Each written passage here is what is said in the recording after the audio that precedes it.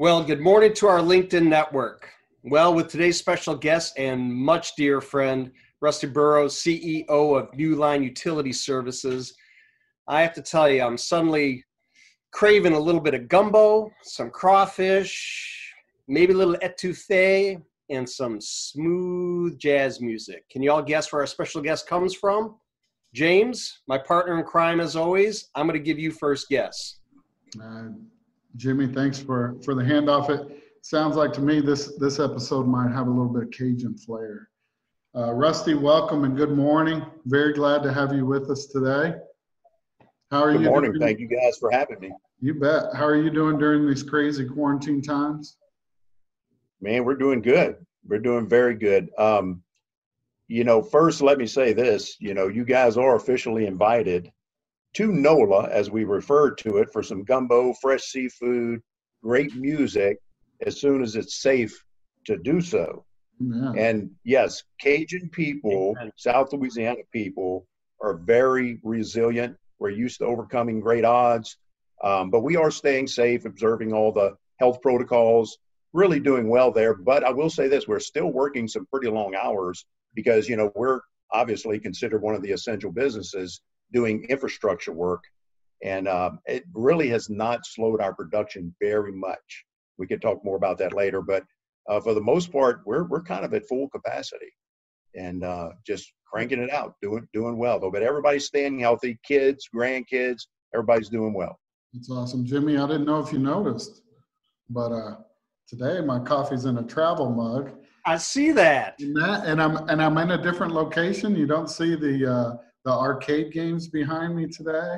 I actually traveled to the office in Decatur, Texas today, and uh, I actually see a few people. It's very strange, but very satisfying. So I just wanted to throw that in there because I know people are thinking, you know, where's the Galaga game behind him, or, or uh, you know, he's usually just back there playing Golden Tee. But uh, no, I'm in the office today. So slowly, I love it. Slowly transitioning back we're excited. Uh, we're excited to uh, eventually quit talking about COVID nineteen, maybe. But uh, oh, amen. Yeah. Amen. yes. Yes.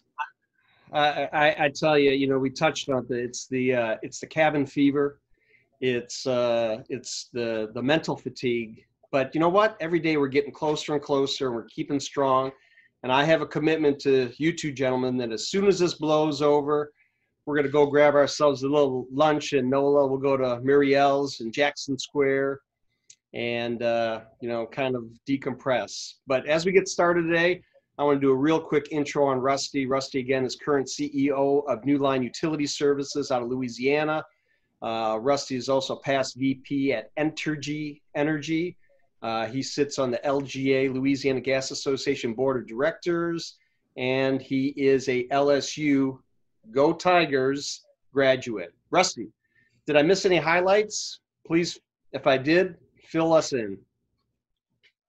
No, no, you handled it well. I'll give one little shout out, uh, not only LSU, but uh, my my Tulane MBA uh, graduate friends and buddies, because uh, that was a great group, and uh, I do want to give them a little shout out. Um, really, really great group of guys. And I will say this: Muriel's is an excellent choice. Did you know that Muriel's is haunted? Yeah. Well, Rusty, when we had lunch there last time, you were filling me in. I don't know if you remember that. It's a couple of years back, but yeah. Yes. Very cool. Yes. They have a seance room. They actually call it the pillow room. And the best way to do Muriel's is to, to go to that room for, for a little short period of time, spend some time there and listen for, you know, other world stuff and, uh, and then go enjoy a nice meal like crawfish and goat cheese crepes, which are fantastic. Oh, all right. Well, Rusty, tell us tell us why you're here today.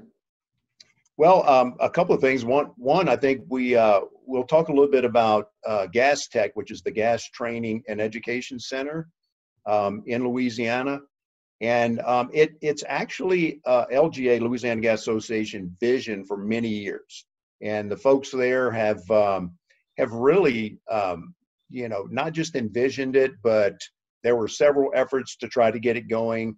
And in in a recent couple of years, um, they were able to partner with the Joint Emergency Services Training Center, commonly called JESTEC, in Louisiana, and that's managed and run by the state police. And what they do there is they do, well, they do all kinds of training, obviously, um, law enforcement training, first responders, you know, fire folks from all over the state come, uh, EMS folks, obviously, any law enforcement. And, uh, and so they have classrooms. Uh, it's a really fine facility. They have classrooms, a cafeteria, a hotel facility on site. Hmm. And so, because they do first responding uh, task and actions in the gas industry with us, we see them out there often, right? If there's a fire, fire department, we got to get the gas cut off. Same way hazmat for state police and that kind of thing. So it just seemed to be a potential good partnership. So over a couple of year period, we were able to work out where they actually, JESTEC, has donated land to LGA, um, quite a few, at like 20, 25 acres at least, and there's really even more space out there than that. Um, some buildings that they donated to us, um, and of course, labor, some of their own labor from their folks that work out there, and the use of their classroom facilities. And you know, it it's all designed to support gas worker and first responder education and training, right? Because sometimes we do have a common need, and it's what's unique about this, at least in, in, in my opinion, in the industry is there are a lot of great training centers out there. You know, I know Atmos in Dallas and uh, Entergy has one in New Orleans, and there and there's they're all over the place. Um, but this one is is designed to serve not just a single utility, but everyone in the state of Louisiana, right? That has anything to do with the gas industry. And and the other thing that's a little different is we we didn't you know go out and try to raise funds and that kind of thing you know because these these facilities can cost millions of dollars um, especially some of them that are that are really really nice facilities. Um, but we're relying on the goodwill of industry partners some grants and a lot of sweat equity. Yeah. and uh, we we have had just a lot of donations of materials and in sweat equity, equity from the Jestec folks from all the gas utilities in the state, even the mun- municipalities, LGA members, vendors, contractors. I mean, everybody has pitched in. And we probably, so far, in donations and grants, we're probably at about 400,000. Um, Wow. So yeah, we have a really good start on it. We in phase one was was our classroom build out, right? And the building that they donated to us, it it basically needed to be totally refurbished and they provided the labor. And then the material we got through some of the grants that we were able to get. So um, yeah it, wor- it worked out great. That's complete. We have the entire gas system pe and steel installed just like a gas city that you guys have seen a- around the country. Um, and of course that includes you know houses. We've put a bunch of uh, 11 or 12 like leak lines out there for that type of training locating finding uh, leaks, troubleshooting. Um, we have houses with meters and appliances. We have a regulator station we can do training on. We have uh, gas fire training pits, which is really, really uh, interesting when, when that training is conducted. We have CP points and, of course, you know, many, many props that we use. So, what we've done to this point is, you know, we have um, we've conducted several uh, what we call intensive weeks of training last year. And by the way, we actually opened the facility in March of last year, and uh, and so we've conducted you know several uh, intensive weeks of training, and that actually included both the Jestec folks, first responders, and the gas folks, and we had some really really um, a great turnout, and um, so we're we're we're kind of off on our way, I believe. And and a couple of things. One of the things that that Gas Tech we're trying to accomplish, you know, there's there's OQ, right? And and OQ is designed to make sure everyone can safely perform a task on a pipeline, right? Whatever that task is, primarily. Gas Tech, what we're doing is trying to take it to a little bit different level, incorporating a lot of hands-on training and so what we're trying to do is really increase the skills and competency and knowledge of folks, right? Because OQ is just kind of getting you started. And then so we're trying to piggyback off of that, you know. And and so one of the things that you guys you guys do every day in your life, one of the things that we're working on right now is identifying and developing, excuse me, standardized training curriculum. Because even though we have done training at LGA for quite a few years, but it's it's just been, you know, uh, mostly like vendor facilitators and folks that are kind of SMEs in the industry come mm-hmm. in and do the training, but it but it hasn't been as consistent as we would like. So that's what we're trying to accomplish is get some standardized curriculum so that we have consistent training regardless of who comes for the training, right? Who needs it and and, and who engages in the training. And then we have um, so that's kind of where we are with phase one right now. Um, phase two, if not for COVID 19, would have started probably towards the very beginning of the year. Um, we were we were preparing to do that.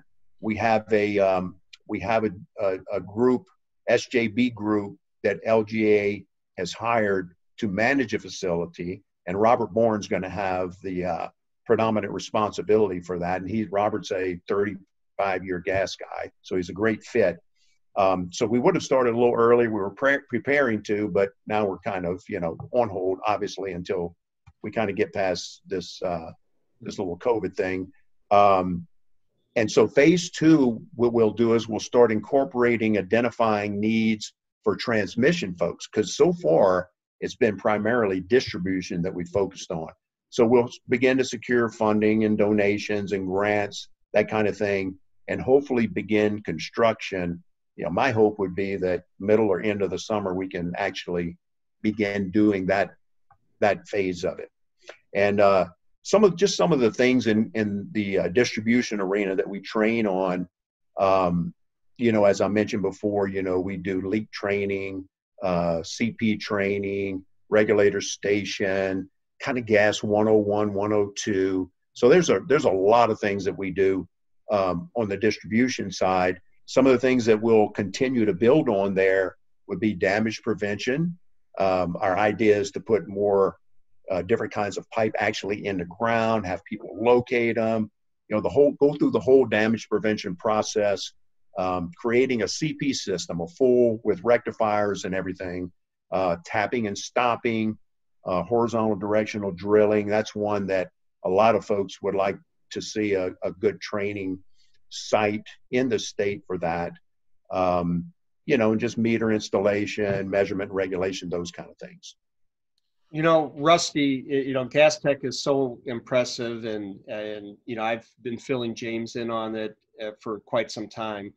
Um, I really encourage folks to go to the LGA site and to really, you know, deep uh, dig a little bit deeper into it. Um, but you know, you do have a very small role, quote unquote, as CEO of a company, NuLine Construct, excuse me, NuLine Utility Services. And um, you know, in a few minutes we have remaining, can you can you clue us in a little bit on NuLine? Give us a little education on that and some of the things that uh, that COVID's been impacting you on. Yeah, ab- absolutely. Um, as I mentioned to you guys a little bit before we started, you know, we're we're still in in uh, full capacity mode and in uh, in our work just because of the infrastructure nature of it. Um, one of the things we've had to do is is just, I guess, rethink and adjust the way we do business. And I, I know that's that sounds pretty obvious in this whole COVID environment. We've heard um, it a few times, Rusty, from guests we've had over the last few weeks. I think everybody's rethinking how they're doing business. Yes, ab- absolutely, absolutely. Um, so one of the things that uh, I think most utilities, you know, have done, at least in Louisiana, um, suspended meter and relight functions and tasks, right? So that we're not entering customer homes. I mean, obviously that makes sense. So what we're doing is instead of, you know, doing the complete process of laying main, laying services, you know, installing those, and then coming and setting meters and relighting pl- appliances inside the customer home, we we've stopped the meter and the relight process for now. So and and obviously, you know, so now you just have a riser there. So we'll come back at some point and we'll have to catch all these up, right? Um, so that's one of the things. Um, field operational challenges, and, and I guess I'll call it risk mitigation. You know, we, we do have an obligation. We have to pre- protect our employees, our partners that we work with, meaning any vendors, you know, our customers, uh, the utility guys we work with, the public. So, you know, we've really been uh, really doing a great job of social distancing, sanitizing. I mean, our guys in the field understand it. They understand how important it is. And so it's really worked well. We've, you know, knock on wood, we've got no one yet that has actually contracted COVID in our organization. And really, I don't, to my knowledge, anyone that we really associate with. So Good. that tells me we're doing a pretty good job with that. Um, one of the things that is is very different too, we call it ghost town streets. And so as we're going about working, um, and I'll just use New Orleans, but it's every place we work. But I'll use New Orleans as an example. We have crews working there, and our guys, you know, initially, you know, their their thought was, well, man, everybody's going to be home now. May make it a little more challenging because you're going to have people all walking around. And but man, I'm telling you, stay at home in New Orleans literally meant stay in your home. Yep. When I'm on a job site, I have a hard time even seeing anyone, any kind of resident anywhere. Seriously, I mean, it is like a ghost town. And so, what that's meant is minimal traffic, residents not walking around, um, and really has resulted in a little bit smoother operation. I, I, I will tell you, I think my, my personal opinion, our production has actually improved somewhat because of that, right? So th- those are those are some of the things, and I think you know when we look to the future, and and obviously myself nor anyone can really predict. You know, I mean, we may get a vaccine at some point, and it's not that much of a worry anymore. We don't really know, but I think what we're doing, we're kind of preparing as if you know we'll have some level of what we're doing now. Um, so we'll we'll we're going to try to make sure we keep that culture of social distancing, sanitizing. Let's just make sure we keep doing that Yep. until we're certain, we're absolutely certain we're we're good to do otherwise.